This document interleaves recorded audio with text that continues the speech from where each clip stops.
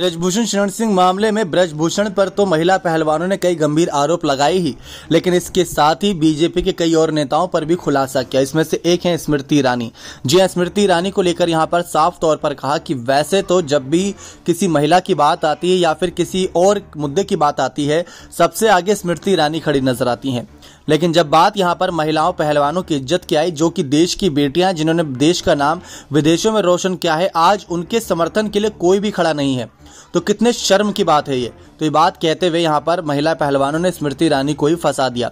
सबने यही कहा कि वैसे तो स्मृति ईरानी साफ़ तौर पर सामने रहती हैं, लेकिन इस मामले पर स्मृति ईरानी की चुप्पी कई सारे सवाल खड़े करते नज़र आ रहे हैं। देखा जाए तो ये बहुत ही लाजमी मुद्दा था, क्योंकि स्मृति ईरानी वैसे तो हर मुद्दे पर अपनी बातें रखती हैं, लेकिन जब बात इस मुद्दे की आई तो स्मृति ईरानी ने जैसे जिस तरीके से खामोशी शादी, कई सवाल खड़े हुए, लेकिन कईयों ने बात कही कि स्मृति ईरानी इस वजह से खामोश हैं क्योंकि बीजेपी के कई मंत्री खामोश हैं। अगर पीएम मोदी, अमित शाह, जेपी नड्डा इस मामले पर बोलते या फिर बीजेपी के आला कमान इन्हें बोलने देते तो ज़ोर ही अपनी बातें रखते ज़ोर कुछ ना कुछ बातें अलग तरीके से कहती नज़र आती लेकिन इन सब मामलों पर यहाँ पर तमाम चुप्पी साधे रखते नज़र आए, जिसकी वजह से कई सवाल अब यहाँ पर खड़े होते नज़र आए। तो स्मृति ईरानी बुरी तरीके से फंसी है क्योंकि वो खामोश हैं।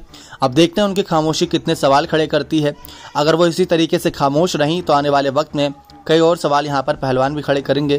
क्योंकि आपको बता दें कि स्मृति ईरानी को लेकर एक संदेश भी जारी किया था यहाँ पर पहलवानों ने। उन्होंने कहा था कि स्मृति ईरानी को हमारा समर्थन करना चाहिए, उनको सामने आना चाहिए, एक महिला होने के नाते आना चाहिए। क्योंकि पीटी ऊषा की बात करें तो वो भी अध्यक्ष पद पर रहीं।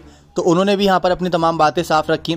लेकिन फिर इसके बाद यहाँ पर ये खबरें निकलकर सामने आई कि पीटी उषा एक महिला भी हैं, एक महिला एथलीट हैं तो वो दर्द समझती हैं।